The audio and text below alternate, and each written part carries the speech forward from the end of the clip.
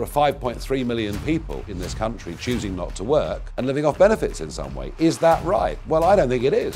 1999, there were three of us from UKIP elected to the European Parliament, to the horror of the establishment. Funny, my first day in Brussels, the three of us sat here with two Foreign Office acolytes, and there was sort of an interminable 30, 40 second silence, which the ambassador broke by saying, Gentlemen, what are your intentions? I think he thought I was a terrorist. I, I, I said, I'm not Guy Fawkes, I haven't come to blow it up.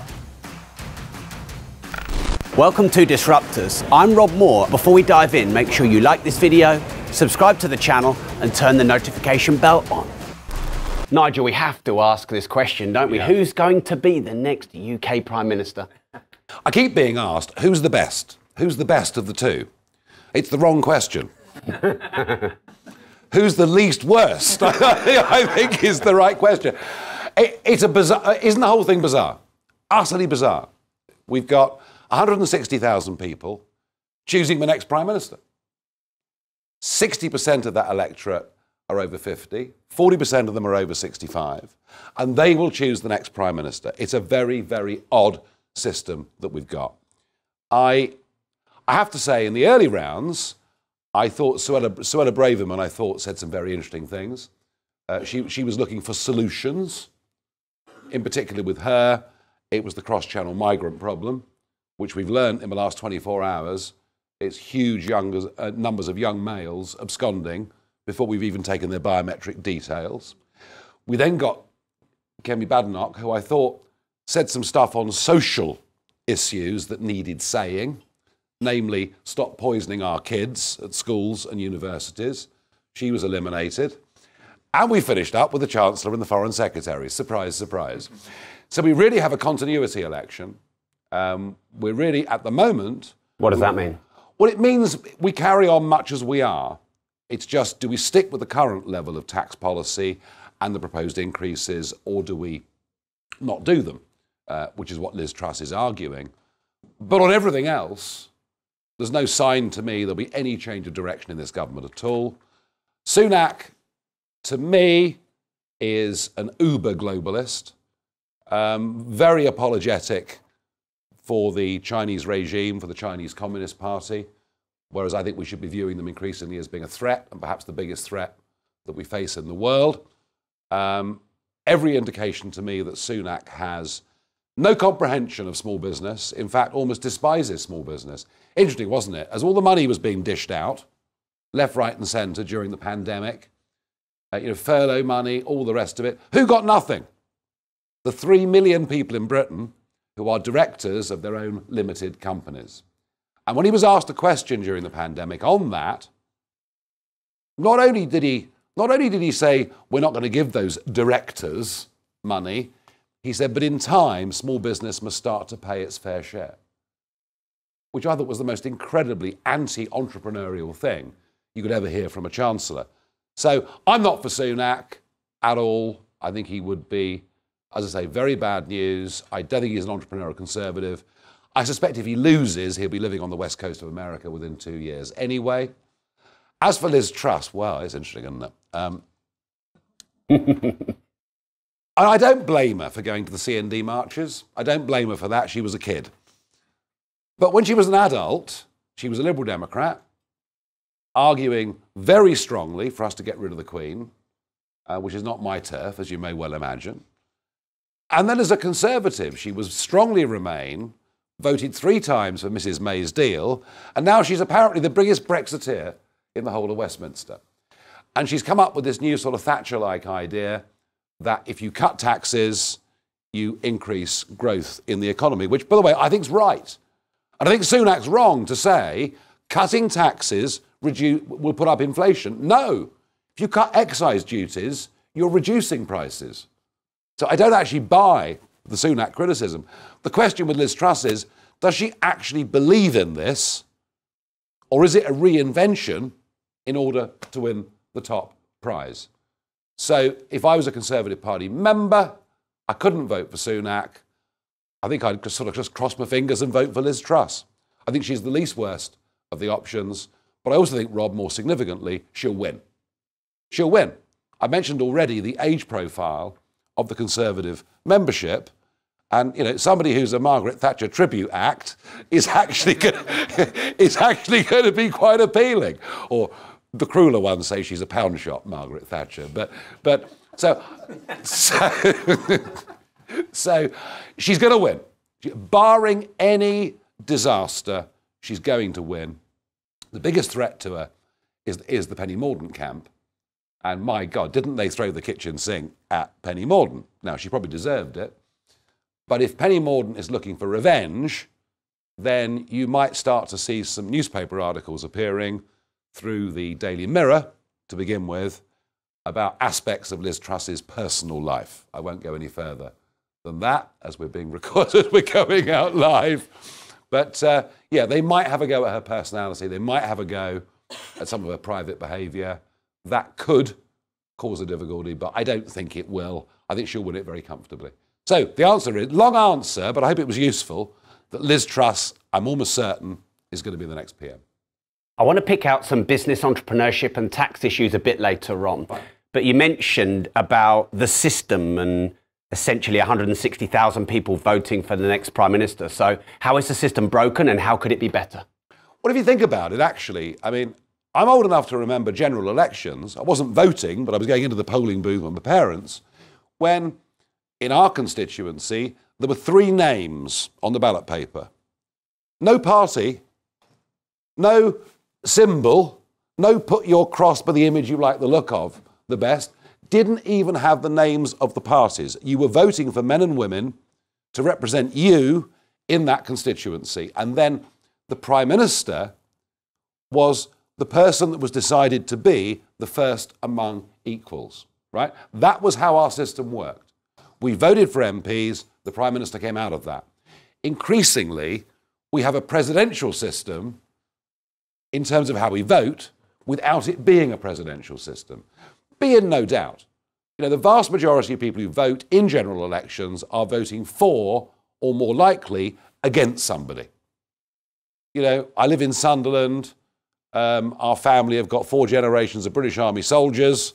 Jeremy Corbyn's the Labour leader. You know, we see him as unpatriotic, anti army. We're going to vote Boris. You know, so that's how we vote. So we're in a very bizarre situation where, bizarre situation where we're actually voting like the Americans, but in a British parliamentary system, which is why so often we keep changing prime ministers and the public say, well, hey, where are we in this? That's the first thing that needs changing, Rob. I think the second thing that needs changing, I think the first past the post system is now just massively out of date. There's a big appetite for change in the country, particularly in the younger generation. You know, even when you get big swings in elections, even when you get a Labour landslide, Tory landslide, you still find that over half of seats in the country never change. And so, you know, if you're a high Tory living in Sheffield or, you know, you're, you're a socialist uh, living somewhere in Somerset, um, the feeling that what's the point of going out to register the vote has, has, got stronger and stronger and stronger. So I think we need an element of. I'm not saying we should go full PR like Italy and become totally ungovernable, although it's always amusing to watch Italy trying to govern itself. Um, but, but I think it's very interesting. I mean, I mean, Blair actually, Blair, a lot of things Blair did, I, I, I think, were very detrimental to the country. But Blair, early Blair, was thinking. And early Blair appointed Roy Jenkins to set up a commission to look at our electoral system and did it fit as we moved into the 21st century. And the Jenkins Commission came up with a, a proposal which is a system called AV Plus, where the man or woman still represents Guildford, but with the second ballot paper, you can express an opinion on who you want represented for the last 25% of seats in Parliament. And that would mean, with a, you know, with a sensible threshold of, say, 5%, that any significant view in the country that wasn't represented in Parliament actually would be.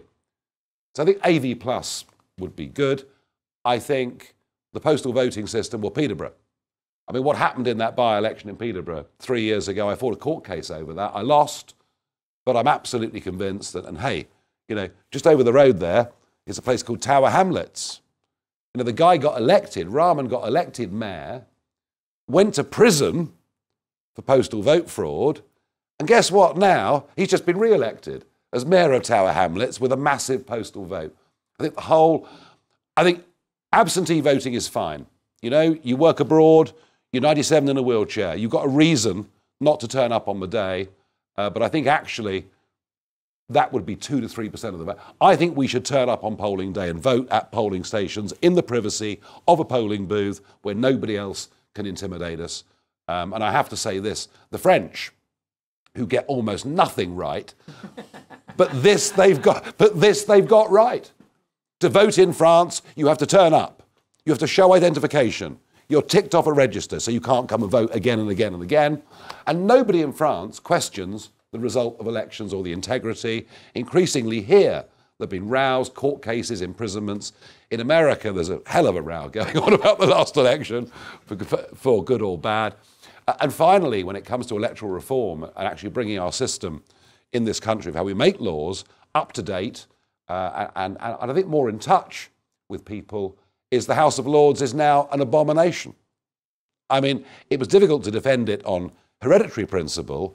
Now it's just stuff full a load of Tony Blair, David Cameron's mates. And when Boris goes in a few weeks' time, there'll be 30 more of Boris Johnson's mates in the House of Lords. And nearly all of them live in the same three postcodes in Kensington and Chelsea and are not representative of the country at all. And that's the upper chamber. That's the upper chamber amending legislation in our country. I, I just think we have to move to a Senate of some kind where we, where, where we actually vote for people who have the right to amend and change legislation that affects every, every person and company in this country. And, and actually, you know, one of the reasons I was so for Brexit is I do think that making your own laws in your own country means you've got a chance, actually, of doing things that are more appropriate for your nation, for your circumstances. So and this is the biggest disappointment, Rob, of, of, all, of all, really, is those Brexit voters in the north of England, they weren't just voting on leaving the EU. It was actually a cry to stop London dominating our lives and, and London attitudes dominating our lives in the way that they are. They were voting for a new kind of politics.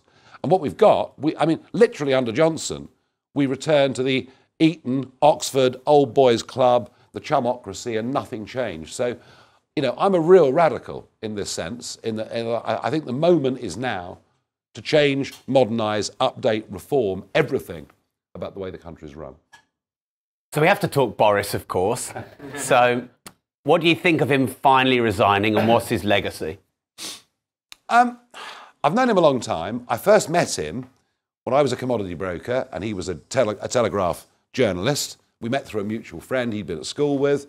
Um, he's He's likable. He's the first lunch we had, right, was in Christopher's in Covent Garden, and they were in the days working in the city when you weren't expected back in the afternoons. I mean, I mean, I mean, you know, you'd either made or lost money by lunchtime, and that, that was pretty much it. And so, you know, we sort of toddled off to lunch at twelve thirty, and and met Boris, and and and clearly, Boris was also in no hurry to rush back to the Telegraph. And I think we sort of it wasn't it wasn't you know an epic one, but I think we I think we sort of but sort of four o'clock it all finished up, you know. And um, and I do remember distinctly that as we left, uh, Boris was given a piece of paper by the waitress, and it was her phone number. So he's very good at that sort of thing. he's very sociable. Through the years, through the referendum, and I spoke to him a lot, and we sort of coordinated together. Um, I, I got the impression that he was a fantastic cheerleader, but not a leader. And I felt from the minute he went into number 10, I've been saying for a long time, actually, on GB News, this is going to go wrong. This is going to go wrong. And in the end, if you think about why he was brought down, Rob, it, they were all unforced errors. They were all self inflicted wounds. And then it was the attempt to cover them up and to probably mislead Parliament into the bargain. And that's what did for him. And I, his legacy will be that we got a form of Brexit over the line. His legacy will be that we showed through the vaccine rollout, as it initially was, that being freed from the Brussels bureaucracy actually meant we could do stuff and do it more quickly.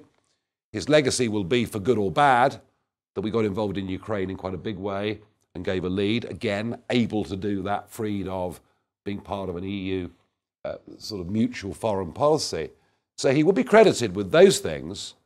Um, the history books will say here was a man who had the most incredible opportunity with an 80 seat majority to do some incredible stuff, did none of it, and was brought down by lies. And I think we'll look back on it as being just the most terrible waste. They had a fantastic opportunity to do some amazing things in the last few years. They just haven't done them. So, you know, for him on a personal level, I guess it's very sad.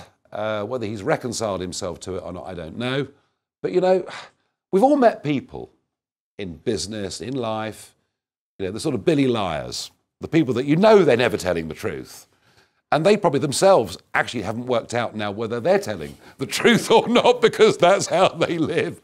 Um, and, and Johnson has got away, you know, with being very, having a very loose association with the truth for a heck of a long time. But you can't do it as Prime Minister. You can't do it as Prime Minister. And the country started to lose confidence in him. Up to a third of those who'd voted Conservative in 2019 were frankly disgusted by the way he behaved, um, particularly in the home counties. People were absolutely appalled in the home counties uh, by the way in which he behaved. And then in the end, the MPs caught up with it. He's gone. I suppose you could argue in some ways it's the system working. There was a degree of accountability in it at the end. You could argue that. Um, but yeah, I think, you know, did some good things, but what a waste. As someone who knows Donald Trump, is he misunderstood? Hugely, deliberately, willfully. That's because he's challenging the global establishment on almost everything. He's got his faults, he's got his flaws, but he's a great guy and he woke us up to something that none of us had really thought about properly China. So, two questions off the back of that. What would you say are the top specific things that Boris failed at that brought him down? And what could and should the new Prime Minister do differently? Um, I think, I mean, what brought him down was the lies. What he didn't do, the missed opportunities. Well, the argument is that the pandemic meant that they, that, that they couldn't do anything, that Whitehall was paralysed because of the pandemic. I don't buy that. Whitehall was at home drinking beer in the garden. It's called work from home. Whitehall wasn't work. Whitehall's still not working. There are still departments in Whitehall where only 30% of the staff have come back to the office. So I don't buy that the pandemic stopped us from doing things. His job was to cement Brexit in the sense of showing the population there were benefits to be had from this. It's like moving house. If you move house, there is a downside cost to moving house. There's you know, conveyancing, there's agro, there's time. But the upside of moving house is you're upsizing or downsizing or you know, you're going somewhere that suits you better. And you try and benefit from that, whether, it, whether it's you've moved to the country or whatever it is. We'd left the European Union. Necessarily, there are some costs attached to that, some downsides attached to that, but also some massive potential benefits. And, you know, they literally have done nothing to go through, estimates vary, but roughly 150,000 pages of close type legislation, of EU law, incorporated into British law. That was the stuff to go through, to simplify, to clarify, to get rid of in certain cases. Um, I mean, here we are in the City of London. You know, regulations like MIFID II that haven't brought a single benefit to any private investor whatsoever, and yet have driven a lot of our equity brokerages off to Zurich or New York or whatever it is. You know, they're the things they could have repealed. They're the things that, that, they, that they could have got hold of. He also, I think, uh, when it came to when it came to VAT, I mean, taking five percent VAT off our domestic fuel bills was a promise that all of us made during the referendum. He didn't do it. He needed to cement Brexit in the minds of the British people as being a positive, and he hasn't done it. And just to say we got Brexit done of itself isn't enough. That's one area. And the second area that he got wrong, and, and, and I've no doubt this will provoke a lot of questions in a moment, but he, there's no doubt that, that Mrs. Johnson III, or Carrie, Carrie Antoinette, as she's better known, Uh, there's no doubt. Who comes up with all these sound bites? I just, I mean, just make it up as you go along. It's fine. there's no doubt she had a profound effect, effect upon him, as did the goldsmiths, as did that very wealthy, what I call the Richmond set. The Richmond set, very influential over Boris's thinking. And whilst we all want to live in a cleaner, greener, better world, uh, the mad dash for net zero has disadvantaged this country in the most astonishing way. It's disadvantaged our manufacturing industries. I mean, just look, just look at uh, the closure of our chemical plants, the closure of both of our aluminium smelters, the removal of much of British steel production. You know, we've exported manufacturing industries pursuing net zero for no net CO2 global benefit at all. Our CO2 emissions go down, global CO2 emissions actually go up because the steel that was produced in Redcar, where I was last night, is now produced in India under lower environmental standards and then shipped back to us. So, leveling up, you want to level up? I'll tell you how to level up. Dead easy. Let's become self sufficient in energy. Let's stop being reliant on Qatar, Norway, Russia, Uncle Tom Cobley, and all. Let's produce all of our own gas, oil, and the little bits of coal that we need in this country. If you did that, you'd produce somewhere between 50 and 100,000 very well paid jobs in the north of England. You'd improve national security for this country. He did none of that. He was happy to go on importing hydrocarbons, exporting manufacturing jobs, driving up domestic bills, keeping the 5% levy on fuel bills, keeping the 25% levy on electricity bills, and now we're into a genuine cost of living crisis. And boy, can't you see it out there? You can see restaurants, you can see fewer cars on the road at night, you can see you know, Airbnb bookings in Cornwall down 20%. I mean, look wherever you want to look. There's a very scary cost of living crisis coming. There's a massive strategic question coming, and Ukraine has sharpened our focus, I think, hasn't it, on whether it's, you know, food supply, whether it's energy supply. And Boris went in completely the wrong direction on all of those things. And, and I, I, almost like it was his new religion. Um, and I think the Conservative Party, the new leader, Truss, if she doesn't find answers to that, they're going to get obliterated at the next election. So there are two things that Johnson just, just I mean, well, one he got wrong, the whole energy the whole, the whole net zero game. He just got that wrong. Um, and, and, and, and, and as, as, I said before, uh, you know, not cementing Brexit and not showing the public they voted for him, given him a huge majority, and they were going to get something back. And mo- I, mean, I, was, I was up, up in the Red Wall last night. People say, What have we got for it? And they can't see anything. So, one more question on politics, yeah. and then we'll talk about business yeah. and entrepreneurship. Yeah. yeah.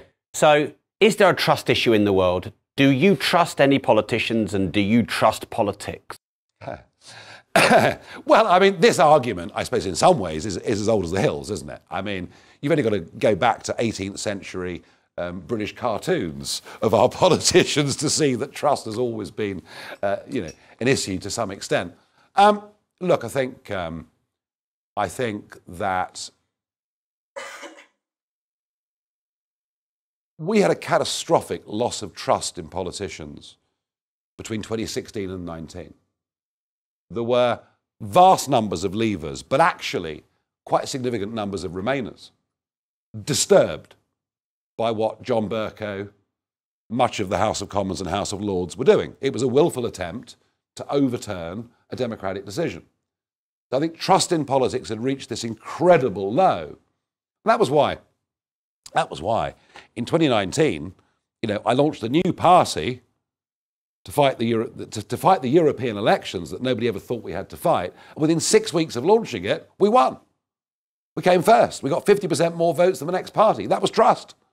That was people saying, we're going to vote for Farage because actually he says, let's stick to what we agreed on June 23rd, 2016. And then Johnson then inherited that, and with it, a whole load of trust and that's now gone. So I, I think trust here is back as an issue. America is a lot more complicated. It's a lot, lot more complicated. Um, it isn't just about trust in America. I mean, Trump actually, whether you love him or hate him, Trump actually did everything he could to keep the promises he'd made in the election. in the first room in the West Wing, as you walk through from, from the Oval Office, the first room in the West Wing, there was a whiteboard, and literally they'd written on there by hand all the campaign promises made in the run up to 16 and then ticked them off as they went along. And I said to Trump in sort of 2018, he said to me, Hey, you know, how am I doing? I said, You're doing great. I said, You're keeping the promises you made to people. That restores faith in the democratic system. A typical Trump. He said to me, no, no, no, he said. No, no, no, he said. I've kept far more promises than I made. um, but that was in his mind. It was in his mind that he'd been elected. He'd come from the outside because people wanted something fresh and different. And, and trust for him was a big, big issue. Here it's been squandered. Um, I think the, think the worry, the worry uh, is, you know, the more we head towards globalization and global agreements, the less actually our votes at national level matter. And I think that was, if you look back at the Brexit wars, you look back at the Trump Clinton wars, and even the rerun that's going to happen um, in 2020, well, midterms in 2024, and the new arguments that are now springing up in Italy and elsewhere, and France, and France. I mean, French politics now is in a very, very parlous state. Um, I think this is the big debate. You know, we obviously want to do things at an international level. We want to cooperate, we want to trade, we want to form uh, military alliances where it suits us to, but we also have to have a degree of self control and to manage our own resources and look after our own national interests. And that, uh, these, are, these are debates that go on for decades.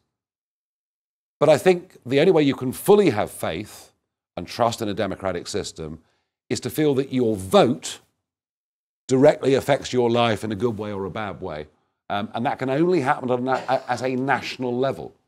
And that's why, that's why the Brexit debate that we've had, you're going to see that playing out over the rest of Europe over the next decade. You are going to see that. You know, I mean, why do you think Mélenchon and Le Pen got these massive votes in the Assembly elections? Because they're both saying the same. I mean, in a way, they're both saying the same thing. In a way, they're both saying France, at the centre of the EU, isn't really able to make decisions for the French people because it's being done on a bigger collective issue. So, so Rob, they, they are, these are things that will play out for many, many years to come. As for politicians, well, the great thing about democracy is if we don't trust them, we can at least get rid of them at every election, and that still is very important. Nigel, tax. Is the tax system fair, and is the amount of tax we're paying fair? Well, I think the worst thing about our tax system is the sheer complexity of it. I think when Osborne um, became Chancellor in 2010, I mean, Osborne, I mean, never even had a paper round in his life, and he becomes Chancellor of the Exchequer. well, it's true, isn't it? You know, it's, it's PPE at Blooming Oxford or wherever it was, and it's straight into a research office, and suddenly you're the blooming Chancellor. It's unbelievable. I think when, when, when, when he got in there, the tax code was about 13,000 pages, UK tax code. It's now well over 20,000 pages. Now, anybody here's a tax accountant, they'll think it's terrific. I know they will. yeah, we got one of those. but for the rest of us, it's a blooming nightmare. Because actually, our tax rate is 2 or 3% higher than you think it is, because you've got to pay the accountant to sort the whole thing out for you. Because you dare, well, you dare not do it yourself. Otherwise, you might finish up in very real trouble. So, the first problem with it is it is massively complicated. There are way too many layers um, of it. Um, are we paying the fair tax rate? Well, look, um, you know, if you look at what, um, if you look at the, what the top 1% are contributing, I mean, the top 1% are now paying about 28% of all tax revenue. The top 1% in 2010 were paying 25% of all so, so the idea that the rich or the big earners aren't paying their fair share is for the birds. They are in a very, very big way. And the risk is, the risk is that you cheese them off too much, they just bugger off. They did it in the 1970s in vast numbers and took a lot of young talent with them as well. Um, So I, frankly, I think 40% works. I actually think psychologically, a top rate of 40% works. It was interesting, wasn't it, when Lawson brought it down to that, was it 35 years ago now? It worked. And I think for the Conservatives to have allowed it to stay up at 45, plus removing all the other potential benefits they've done. So, look, I think the tax burden is too high. I think we've made ourselves business wise. I mean, business wise, what's happening is very worrying. I think the signal that corporation tax is going to go up by 30% next April is the most incredible self inflicted wound. That's Rishi Sunak all the way through. I mean, for that alone, to me, he doesn't deserve to be Prime Minister. Uh, but, Rob, you know, we have to look at government spending as well. We have to look at government spending. And, and is it right that there are 5.3 million people of working age in this country choosing not to work and living off benefits in some way? Is that right? Well, I don't think it is. But of course, as soon as you say that, oh, you want to force the disabled to, to work. But I just think the system is open uh, to people sponging off it, frankly. And I, I, I think it needs to be addressed. It'll take somebody of enormous courage to do that. So, so no, the tax burden is the highest it's been since Clement Attlee. Uh, that has never been proven to be a healthy thing uh, in our country. Uh, but we've got to tackle the expenditure side. Uh, and, and, and you know what? No one ever does. Nigel, who controls the world? Well, ultimately, we do, don't we? And even if we live under oppressive regimes, we actually have the power ultimately to get rid of them. It's up to us as people, it's up to our own free will. We are in charge of our destiny, we are in charge of our world if we only have eyes open enough to see it and courage to do something about it. Hey, quick one. Would you like to start a business, scale a business, create multiple streams of income, get better financial education and knowledge? build a personal brand, monetize social media, work from home, create a side hustle. If you'd like any of that, go join my members area, rob.team. Cost you less than a large coffee, one third of the price of Netflix. You can cancel anytime with no contract. Learn, earn, invest, build multiple streams of recurring income, digital assets, quicker, easier, and cheaper. Zoom masterclasses, live event meetups, Ask Me Anything lives, exclusive content that we can't put on YouTube because it's too controversial. It's all at rob.team for less than a large coffee. Go join now at rob.team. Why don't they try and put more effort into kickstarting the economy to sort out that side? Because they don't understand the economy. They don't understand the economy.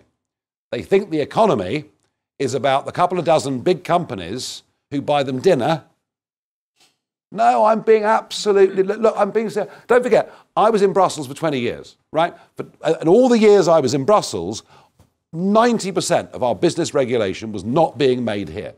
It was a point that British people struggled to get their heads around. But everything, from aviation rules to speed limits, you know, you know, why is it 56 miles per hour for a lorry on a motorway? Because it's 80 kilometres.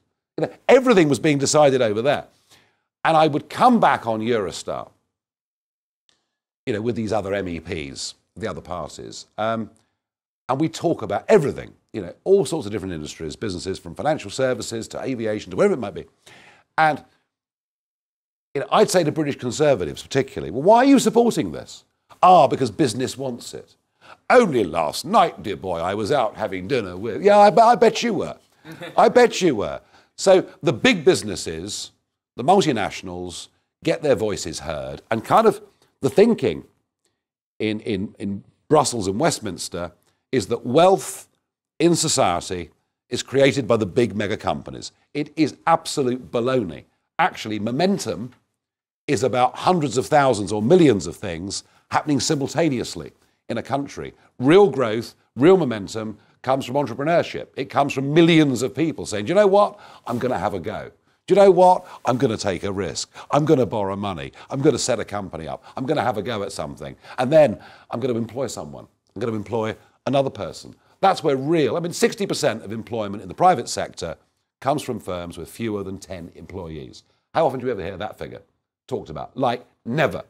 And there is, I promise you, I promise you, because I'd, I'd, run my own business. I'd run my own business for uh, eight years when I first got elected to the European Parliament. And everything I saw there and everything I've seen here indicate we're run by people who do not get this. They do not understand this.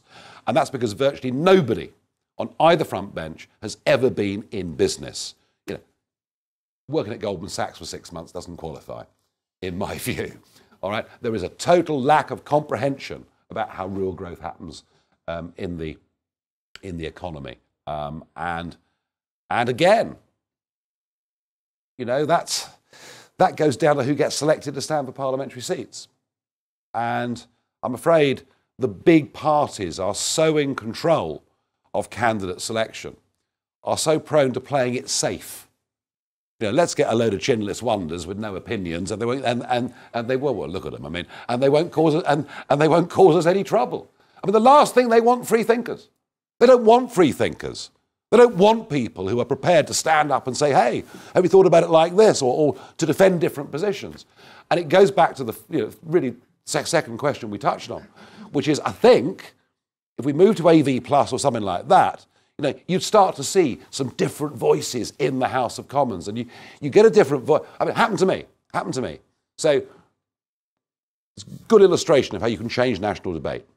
1999, there were three of us from UKIP elected to the European Parliament, to the horror, horror of the establishment.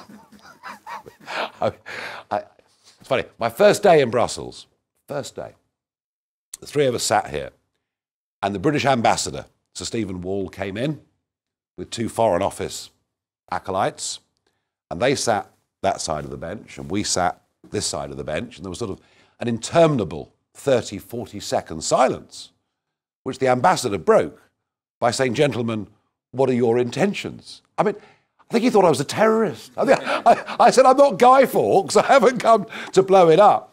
Um, but, but, but that's how outside the thinking at the time of the media, political, and business class was.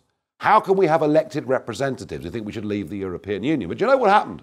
Because of that, I got on to question time. And because of that, the newspaper started writing about me. And then suddenly social media comes along. And even though we were very, very few people, the fact we had elected office allowed us to propagate an argument, an argument that picked up support and grew. And the same would happen for entrepreneurship and business, with a different electoral system, we would get people in that parliament who would stand up and start making these arguments. So at the moment, I'm sorry to say uh, that entrepreneurship is barely represented uh, there in the House of Commons, or certainly in the thinking of Whitehall. It's a massive, massive problem. And the real frustration, and every one of us in this room knows that this country has got amazing potential. That we genuinely have fantastic potential. Um, and it's not for government to make us a success, it's for government to get the blooming hurdles and obstacles out of the way to allow us to make a success of it. And they're just not doing it. So, do you think that's the key to kickstarting the economy, or is there something else? Look, the, the, the, the only way, the only way you get out of a mess like this is through growth. Mean, if I'm frank about the 80s, Thatcher actually wasn't very good at cutting. Yeah, the idea that Thatcher you know, used the knife and slashed budgets and sacked loads of civil servants, well, she didn't really do that. She didn't really do that. Um, what she did do was to tackle inflation, and that was a very painful medicine. But ultimately, we grew our way out of the problem, and by 1988, we had a PSDR, a public sector debt repayment. We were paying off national debt every year with the budget. So growth is the, right now, I think growth is the key to absolutely everything. And I think growth, that's why actually Truss is half right on this. I, I think, I mean, just, just think about it. You know, the windfall tax. I mean, uh, a conservative government have put a windfall tax on gas and oil companies. Forget the fact that the previous year they all lost billions when the price was low. Once you put a windfall tax on one sector, why not next year put a windfall tax on another sector. What message is that to investors in tech or whatever else it may be? What message is that to the world? They're bad signals, very, very bad signals. So, so, so look, you know, we've, we've, we've got to make sure people have the right incentives and, and we've got to make sure tax is low. But actually, actually, I think if you look at certain states in America, I mean, take, take Georgia, for example. Now, he's timed out now, but they had an entrepreneurial governor called Nathan Deal. Deal did two terms in Georgia as their governor. And go- governors of states in America have real power. I mean, they really do. And Deal was a supply sider. Deal was all about growth. For the, the last four year term of Deal in Georgia, which ended two years ago, Georgian growth was 4.4%, averaged 4.4%, almost double what the rest of America did over that period of time. Why? Because of incentives. Why? Because of supply side reform. Why? Because he got government out of the way. Um, and this is exactly what Reagan did all those years earlier. And actually, to a large extent, what Thatcher did.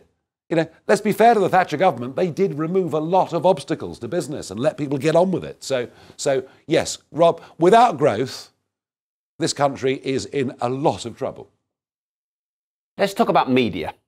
So, you obviously have gone through the journey of being very involved in mainstream media and always in the press, and then mainstream media's evolved, and maybe it's dying, and now you've got a big social media presence. So, how have you seen that change? Oh, I mean, look, um, first things first, newspapers. You know, we should actually count ourselves incredibly lucky in this country. We have got one of the best newspaper industries in the world. Now, they're the cruelest, they're the nastiest, and when you get the phone call at midday on a Saturday from one of the Sundays, you know it's not going to be good, I can promise you. Um, but we're lucky with our newspapers. We have, we have a really terrific, you know, plurality of view across our newspapers. You know, from The Guardian to The Mirror to The FT to The Daily Mail on the other end. So, so that side of our media life is very, very well covered. Most of them have gone online quite successfully, Telegraph particularly, with nearly three quarters of a million subscribers. So that part of our media is good, I think. And, and, and they're horrible. I mean, uh, some of the stuff they write, you know, is almost, you, if, if, when it's about you, you, you sort of almost can't read it. But where, where we've had the really big problem has been broadcast media. And broadcast media, television, radio, have generally been London SW1 dominated views, wall to wall. You know, topic after topic in which there is basically no debate. There is a received wisdom on these issues. They think they're being neutral, but they're not, because the type of people that work in the BBC, ITV, Sky, etc. And that was where social media came in. I mean, YouTube really hit this country in about 2007, I guess. Uh, I would never have done what I've done without, without that. N- never. Um, I remember in 2008, the financial crisis, the Eurozone crisis, and I was getting up in the European Parliament questioning the bond spreads that were emerging with Greek bonds, uh, Italian bonds, precursor to the bailouts, um, ECB buying masses of their own, or of, of, of, of, the nation's own bonds. And I was getting up talking about these things. Um, and, and, and, and it was amazing that my brother, who was sitting at a trading desk in the city, would have my speech sent to him by Zero Hedge, the big financial markets platform in New York, and they would pick up my speech and send it out to all their subscribers. And I thought, wow, this is really interesting. You know, I realized the power of this thing. And then I started to realize every speech I gave in the European Parliament actually could have a really big, because the BBC were never going to cover what I said, could really have a big audience. Um, and I remember in about 09 giving a speech, and the leader of the Liberals, a, chap called Verhofstadt, Belgium politician, and Verhofstadt got up. He said, uh, Mr. Farage, he said, all he does when he comes to this parliament is he gives these speeches because he wants to get big numbers of views on social media. And I said, yeah, it's a fair cop. I, yeah, you know, I, I, get. So, yeah, social media, for me, YouTube to begin with, uh, and then with Twitter, that then became, I mean, literally everything you tweeted became a press release and could be picked up by local newspapers all around the country or national papers or French newspapers or whatever it was. Obviously, Facebook developed as kind of a fan club. That's really what Facebook became. So look, I've been, I've, been using, I've been using social media more heavily than any other British political figure and probably any other British media figure, you know, since all of this started. Um, the trouble is, Rob, that you know they, they realised by opening up the gates to free speech, these big West Coast billionaires, that what they'd created was the means by which people like me and Donald Trump could have a good day. um, and they have cracked down on it, you know, very severely. I mean, look, you know, none of us want the platforms to allow incitement, hatred, uh, any of that stuff. But I think the effective shadow banning of many conservative views has been real. It's been going on for a very, very long time. Um, and that's why there's a plethora of new platforms developing. Um, and that's, um, you know, we're obviously looking at uh, Gettr, Parler, Truth Social is just kind of getting off the ground. Rumble. Rumble, Ga- oh, we could go on. I mean, there's, there's a lot of alternatives out there. Which ones succeed, which ones fail, I just don't know. But, but TikTok as well. I mean, I, that's amazing. I mean, I don't, you know, I just started doing TikTok a few months ago. I wasn't mad on doing it because of the ownership. That did concern me a bit. But in the end, I said, right, I've got to do it. So, anyway, I do TikTok, and it's quite fun because I tell all these kids to challenge their teachers. uh, yeah, challenge your teachers. Uh, the Jubilee was particularly good. You know, be proud of the Queen. Don't be ashamed of our past. You know, you'll hear all this rubbish about slavery. We're the ones that got rid of it. All this stuff. So I'm, I'm sort of, I'm, I'm like a counter-revolutionary against what they're being taught. Um, and um, anyway, I was walking into the GB News office in Paddington at three o'clock about, I don't know, six weeks ago, something like that. And it was three o'clock, and one of the year groups had been let out of the school down the road. And there's like, I don't know, 60, 80, 15 year old kids. And they're, they're off to get some coaches to go somewhere or whatever it was. And uh, one of them shouts out, Look at that, it's the TikTok guy. so there you are. I mean, they wouldn't, but you know, when there was a referendum, they'd have been nine or 10. So it wouldn't have really crossed that, you know, they wouldn't, they, they wouldn't have known who I am. But, but, but I found through TikTok, wow. I mean, I mean it, it, so these are all very, very powerful things. But again, you see, I mean, I, you know, I talked about our, our politicians a moment ago, and I said to you, they had no comprehension of small business, of entrepreneurship. Have a look at the cabinet. Have a look at their social media followings. They're almost non existent. They're almost non existent. When you're a party leader or a prime minister, they'll pay fortunes to push you out there and get a following. But I mean, you know, Penny Mordaunt, this big success. You know, how many Facebook followers has she got? 18,000. None of them have taken it seriously. None of them have understood it. And that's why I go back to that point again and again and again that the political system we've got is not giving us the right kind of leaders. They're not switched into where the 21st century is. What would you say is your biggest success? And it sounds a bit corny, but to have four pretty healthy, well balanced kids isn't bad because it's not been easy for them either. You know, this surname is not always, not always a bonus at British universities, I can tell you. Can you imagine? One of them did politics. Should we do a quick fire round to finish, Nigel? Well, as you wish. I'll probably get caught out here. um, so, yeah, maybe 15 to 30 second answers each one.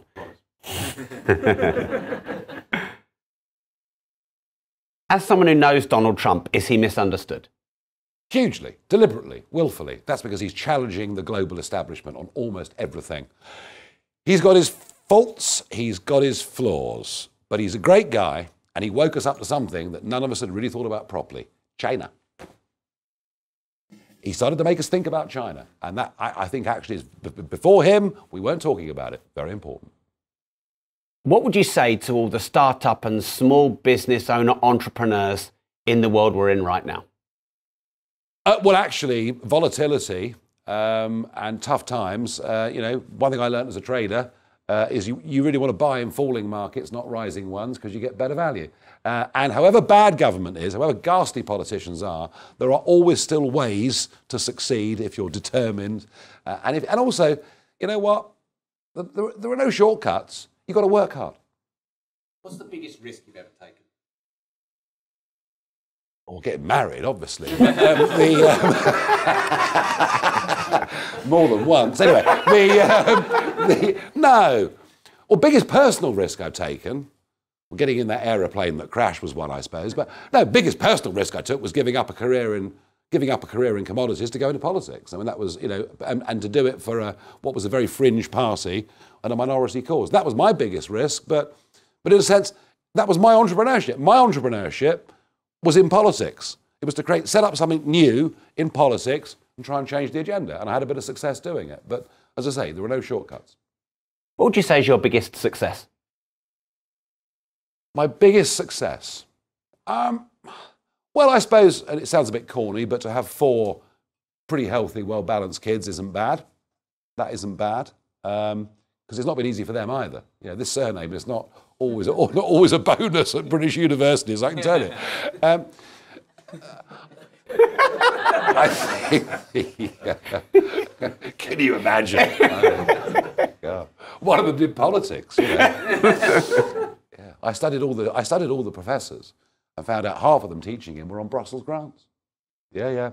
He, he did share that with them, I think. Um, the um, no, I mean, look, my biggest I think my biggest success was to take an issue, to take an issue that was just not discussed in polite society and turn it into a mainstream national debate. That was my biggest success.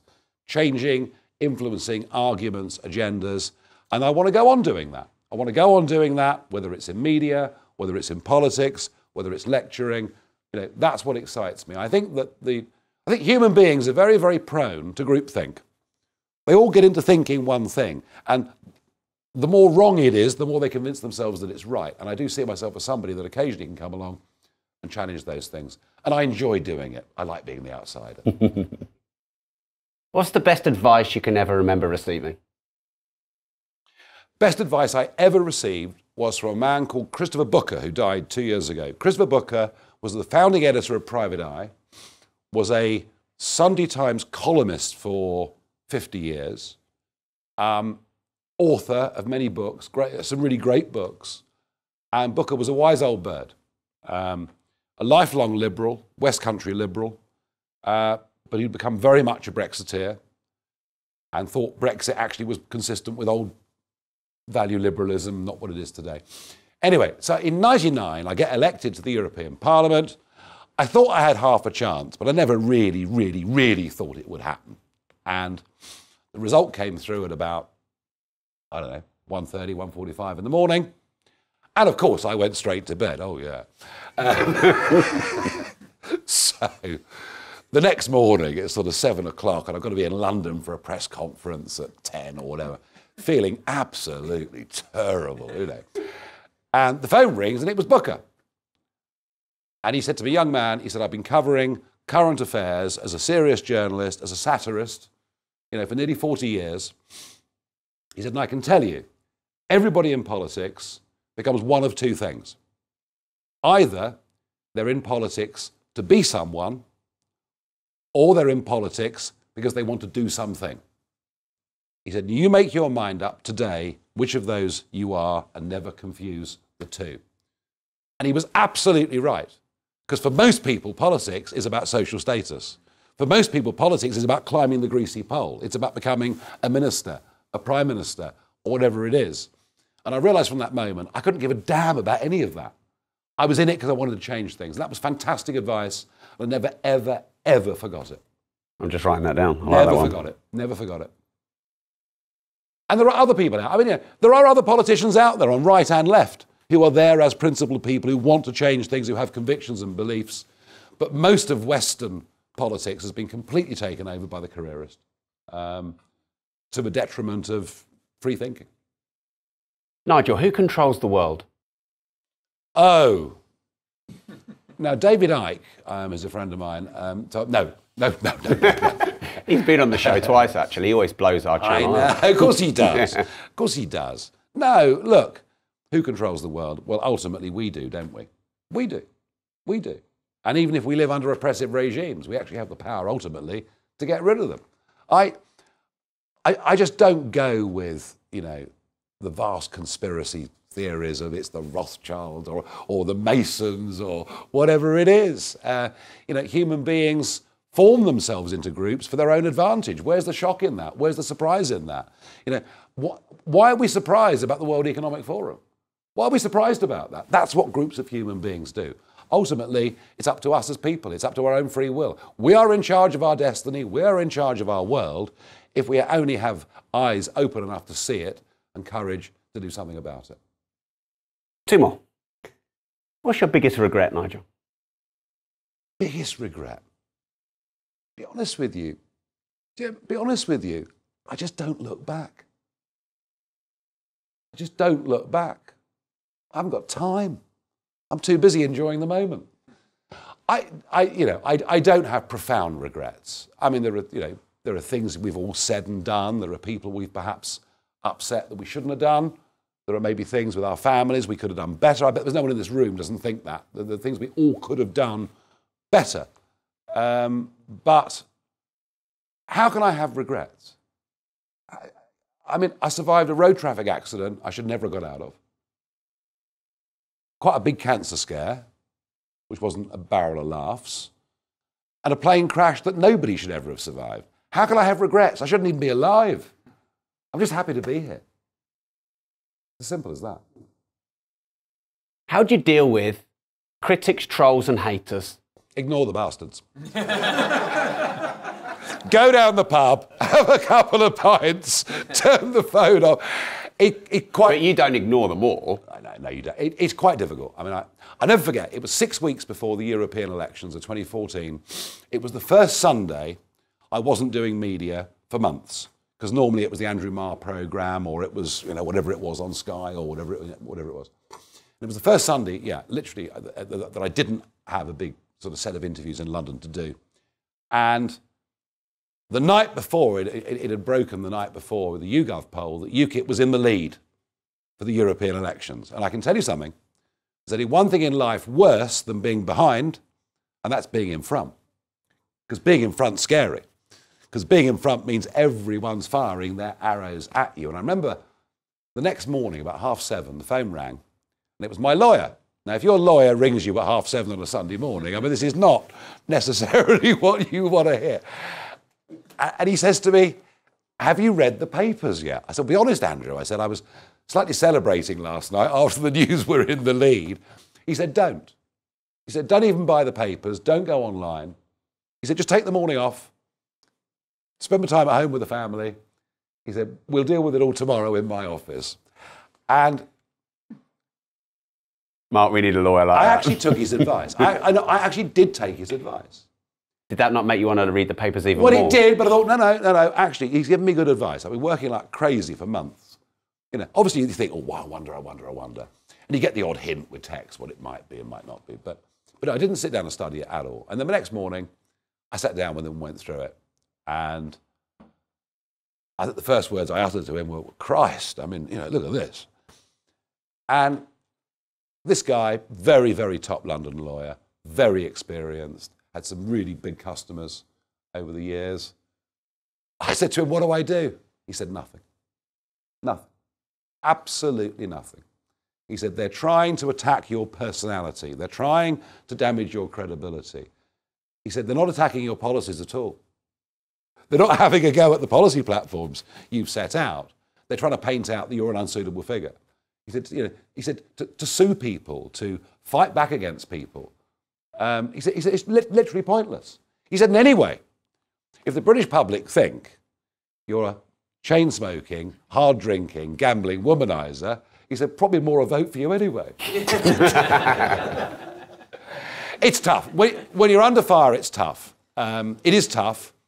But you know what? Going to law, going to law, I ha- and I have done it a couple of times, but going to law in any libel, defamation action, all it does, it soaks up your emotion, it soaks up your energy, it soaks up your time, your and money. Even, and, and the risk, the financial risk is massive. And th- in fact, three actions in total over all those years. One action ended in a score draw but a newspaper apology, and two actions did end in victories, actually, and some compensation being paid to family members who pre Leveson, because pre Leveson, they were going for your family as well. You know, it was, it was that, and, and, and I can take it, but those around me didn't deserve it. Um, but even when you've won, you've lost, because it's taken up so much of your time. So I think there are times when you have to fight back on social media and elsewhere, But I, I generally, you know, unless you're, unless you're being accused of something that really is criminal or really is wrong, my advice: keep moving forwards. Don't worry about it. And if you weren't doing something right, they wouldn't be attacking you anyway. So I don't let it worry me. Ladies and gentlemen, Nigel Farage. Thank you, Nigel. Let me know what you think in the comments. If you want to watch another Disruptors interview with disruptive guests, watch here. And before you go, make sure you like the video, subscribe to the channel, and turn the notification bell on.